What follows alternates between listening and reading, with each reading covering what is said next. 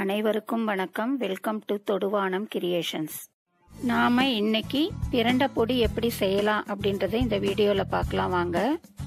சேனலை சப்ஸ்கிரைப் பண்ணாதவங்க சப்ஸ்கிரைப் பண்ணிக்கோங்க. பெல் பட்டனையும் ப்ரெஸ் பண்ணிக்கோங்க. அப்பதான் நான் போடக்கூடிய வீடியோஸ் உடனுக்குடன் உங்களுக்கு நோட்டிஃபிகேஷனில் வரும். நீங்களும் அதை பார்த்து நீங்களும் செய்து பழகலாம். ரெசிபி ப்ரிப்பேர் பண்ணுறதுக்கு முன்னாடி பிரண்டையோட பயன்களை கொஞ்சம் நாமளும் தெரிஞ்சுக்கலாம். இந்த பிரண்டை பார்த்தீங்கன்னா எலும்புக்கு ரொம்ப பலம் கொடுக்கக்கூடிய ஒரு மூலிகை தாவரம். அப்புறம் ஈறுகள் ரத்த கசிவு இருந்துச்சுன்னா அதையுமே இது உடனடியாக ஸ்டாப் பண்ணும். அப்புறம் பார்த்தீங்கன்னா வாயு பிடிப்பு மூட்டு வலி இதுக்கெல்லாம் ஒரு நல்ல தீர்வாக இருக்குதுங்க இந்த பிரண்டை. நெக்ஸ்ட் பார்த்தீங்கன்னா நம்ம உடம்பில் இருக்கக்கூடிய கெட்ட கொழுப்பு அதிகப்படியான கொழுப்பு இதையெல்லாம் கரைக்கக்கூடிய குணம் இந்த பிரண்டைக்கு உண்டுங்க. அப்புறம் பார்த்தீங்கன்னா பசிக்கவே இல்லை அப்படின்னு சொல்கிறவங்க இந்த பிரண்டையை எடுத்துக்கும் போது நல்லா பசி எடுக்கும் நல்லா சாப்பிடலாம். சரி வாங்க. பொடி செய்ய ஆரம்பிச்சிடலாம். இந்த மாதிரி எலசான பிரண்டை கிடைச்சா நீங்கள் வாங்கிக்கோங்க. இது எங்கள் வீட்டு தோட்டத்திலிருந்து பறிச்சது. இந்த மாதிரி எலசா இருக்கிற பிரண்டையை நம்ம கழுவி இந்த மாதிரி கட் பண்ணும்போது நம்ம நம்முடைய கை நமைக்காது. நீங்கள் முத்தின பிரண்டையாக எடுத்தீங்கன்னா கை நமைக்க ஆரம்பிச்சிடும். இளம் பிரண்டையில் பார்த்தீங்கன்னா நார் கூட இருக்காது. நான் உங்களுக்கு முத்தின பிரண்டையை எடுத்து இப்போ எப்படி க்ளீன் பண்ணணுன்றதையும் சொல்லிடுறேன். இந்த மாதிரி முத்தின பிரண்டை எடுத்தீங்கன்னா கையில் வந்து ஆயில் அப்ளை பண்ணிவிட்டு நீங்கள் கட் பண்ணுங்கள் இல்லைன்னா கை நமைக்கும். இந்த ஓரத்தில் இருக்கக்கூடிய அந்த நாரை எல்லாம் நம்ம கத்தியில் அப்படியே எடுத்துட்டு கட் பண்ணும்போது இடை இடையில் வரக்கூடிய நாரையும் நம்ம க்ளீன் பண்ணி எடுக்கணும். இப்போ நான் செய்கிறத நீங்கள் பாருங்கள் அதே மாதிரி செய்யுங்க. நீங்கள் எண்ணெய் அப்ளை பண்ணாமல் நீங்கள் அப்படியே இது பண்ணிங்கன்னா கை நமைச்சல் கொடுக்கும். அடுத்து இந்த மாதிரி ஒவ்வொரு கணுவிலையுமே நம்ம அதை உடச்சி எடுத்து இடையில் இருக்கக்கூடிய நார்களையும் நாம் நீக்கிடணும். இது பார்த்தீங்கன்னா ஃபைபர் கண்டென்ட்ஸ் அதிகம் உடைய ஒரு உணவுப் பொருள்.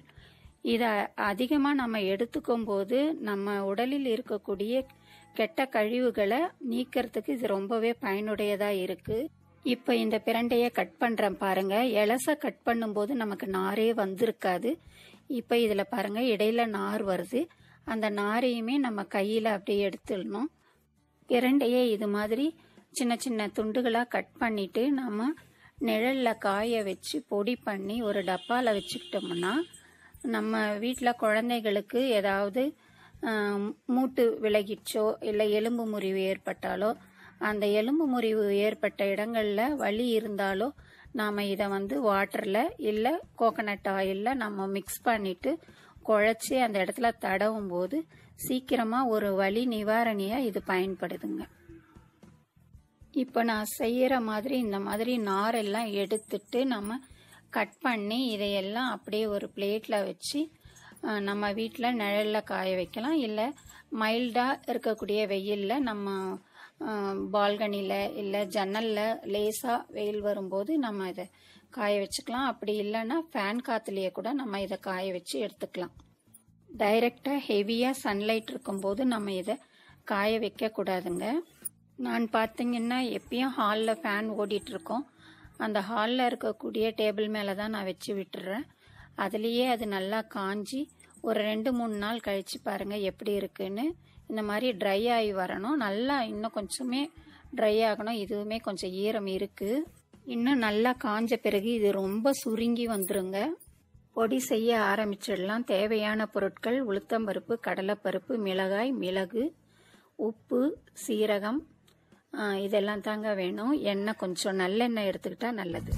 வாசனைக்கு கொஞ்சம் பெருங்காயம் எடுத்துக்கோங்க. ஃபஸ்ட்டு எல்லாத்தையும் நம்ம ட்ரை ரோஸ்ட் பண்ண போகிறோம் அதுக்கு சின்ன கடாய் எடுத்துக்கோங்க.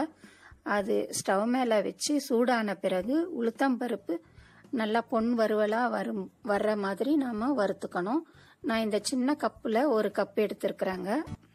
கோல்டன் ப்ரௌன் வந்த உடனே அதை வேற ஒரு பவுலுக்கு மாற்றிக்கோங்க நெக்ஸ்ட்டு கடலைப்பருப்பு ஒரு ஆஃப் கப்பு தாங்க எடுத்திருக்கேன். அதையுமே அதே மாதிரி கோல்டன் ப்ரௌன் வர்ற மாதிரி நம்ம வறுத்து எடுத்து அதே பவுலில் நம்ம போட்டுக்கலாம். இதே மாதிரி மிளகு சீரகம் எல்லாமே ஒரு ஒரு ஸ்பூன் தாங்க எடுத்திருக்கிறேன். அதையுமே இது மாதிரி நம்ம கொஞ்சம் வாசம் வர வர நம்ம அதை வறுத்து எடுத்து அது கூடவே நம்ம எல்லாத்தையுமே ஒரே பவுலில் மிக்ஸ் பண்ணி எடுத்துக்கணும். அடுத்து ஒரு பத்து பன்னெண்டு மிளகாய் எடுத்திருக்கேன். அதையுமே வந்து அது கொஞ்சம் நெடி வருங்க. நீங்கள் ஒரு ரெண்டு கல் உப்பு போட்டு நீங்கள் வறுத்துருங்க. வறுத்து அதையுமே சேர்த்துக்கோங்க. இப்போ வந்து நம்ம பிரண்டைய நம்ம வறுக்கணும். அதுக்கு ரெண்டு ஸ்பூன் நல்லெண்ணெய் விட்டுருக்கேன். அது சூடான பிறகு ரெண்டு கப்பு பிரண்டை காய வச்ச பிரண்டையை நம்ம அதில் போட்டுட்டு கொஞ்சம் லேசாக கருகாமல் நம்ம பார்த்து பதமாக அதை வறுத்து எடுக்கணும்.